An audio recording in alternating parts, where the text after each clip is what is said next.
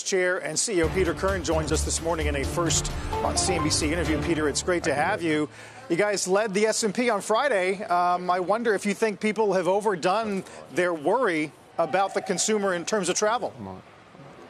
Uh, can you hear me, Carl? Sorry. Yeah, I got you. You got me? Okay.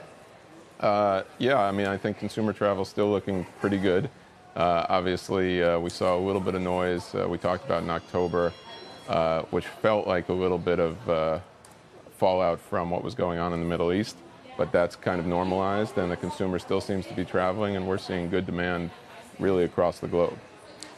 I looked at some charts this morning, sort of gauging whether or not corporate is going to rebound the way uh, we were hoping uh, maybe a year and a half ago. Uh, are you are you frustrated at the degree to which corporate travel does not appear to be tracking leisure? Yeah, I mean, we're not as exposed to it, so we don't worry quite as much about it as we used to, but we definitely power a lot of corporate travel partners. Uh, and, you know, it hasn't come back certainly to the pre pandemic trends in the same way that leisure has. Uh, and people are a little bit concerned about corporate travel in the back end of the year. Uh, but, uh, but it's still pretty robust, and I think uh, for us it doesn't make a huge difference. But of course, we'd love to see more travel back. We'd love to see our partners in air and, and, and hotels, you know, doing better in that space. But there's been a lot to replace it, including, you know, much more premium leisure travel. Uh, conferences are back, so we're seeing the conference business across the board. We hear it from our supply partners everywhere that that business is back. So I think it's the day in, day out corporate stuff, which certainly is a big business. Uh, we'd love to see it back at 100%, but doesn't have a huge impact on our business. No sign of a slowdown, Peter. it's just interesting because Airbnb and I think Booking both guided to deceleration in fourth quarter. Yeah, well, we have very different business profiles than some of our competitors.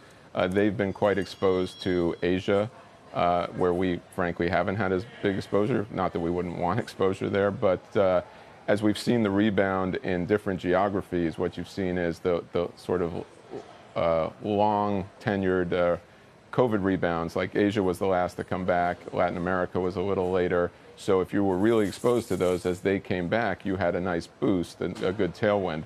But most places are starting to normalize now. We're much more highly exposed to the West, which normalized earlier. So we're much more excited about the work we've been doing to build our business, improve our technology, uh, you know, help our customers do better. And that's really starting to show in what we've been doing in our loyalty program, uh, our product, et cetera. So we're in a different spot. We're kind of coming up on things, whereas some of our competitors are normalizing post these tailwinds.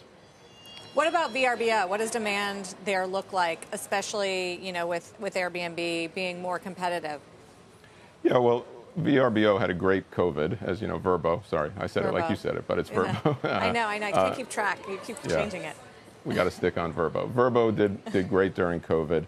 We saw a little bit of a pullback post COVID as people went to more cities uh, where Verbo has less less product. But we have great product in cities, and we're trying to make sure consumers understand that. Uh, and we went through a big migration, which we've talked about, where we've put Verbo onto our main technology stack now, which we literally finished a few days ago. So we're really in a nice spot, we feel there, where uh, the trends are, we believe, going to go our way.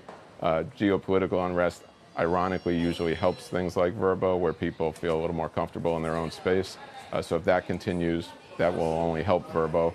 Uh, and the product's improving. Uh, we have great supply, and you know Airbnb they do great in shared spaces and other things we don't do. Again, I think that market has kind of topped out in big cities, et cetera. We'll see if that continues, and and they're more exposed to the lower end of the market because of that, because those are inexpensive options.